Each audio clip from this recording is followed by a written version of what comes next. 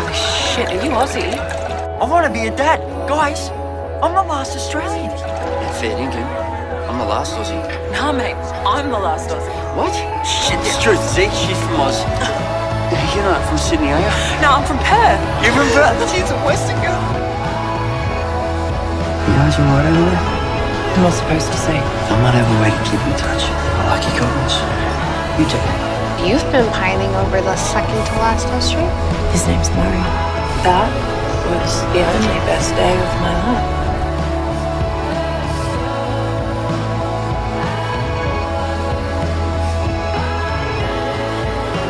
We know almost nothing about her other than she's young and in love. I kill you!